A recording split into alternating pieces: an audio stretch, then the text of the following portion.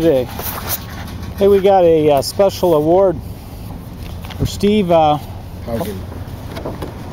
Hagen. Haugen. Hagen, and uh, tell me a little bit how this came about. Was this a surprise today for you?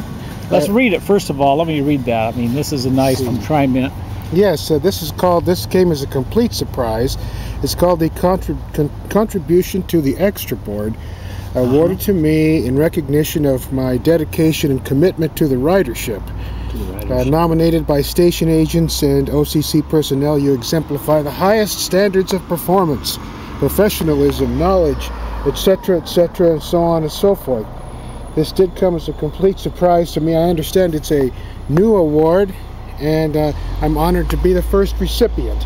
First recipient. Yes. All right. I, I, uh, I guess this came about as a uh, result of uh, conversations uh, among the uh, uh, management here at the garage. I, I received a uh, Accessible commendation here. customer excellence award pin. So you're very you're very good with working with the customers apparently and communicating and taking care of their needs, assisting them. Yes, yes. I I, uh, I enjoy the, working take the with time people. to do that. Yes, I, I, I enjoy working with the people. It, it can be challenging uh, Yeah. at times, and uh, I am just uh, very surprised and honored to receive this this award, and uh, uh, grateful to be working here at TriMet with so many great people, Mhm. like Bob.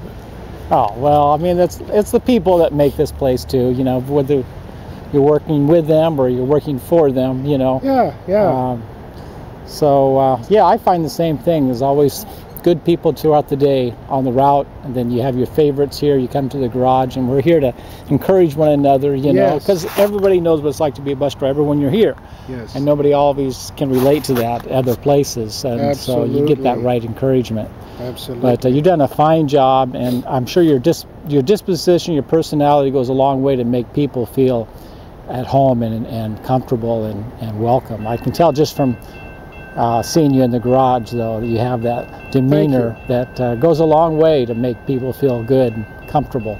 Thank you. Thank so you. Uh, keep up the good work. We like people like you, and uh, we'll try to try to inspire one another. yes, we will. Yes, we will. Thank you. All right, Thank you. Steve. Thanks a lot. Another great operator from TriMet TV, Steve Hogan.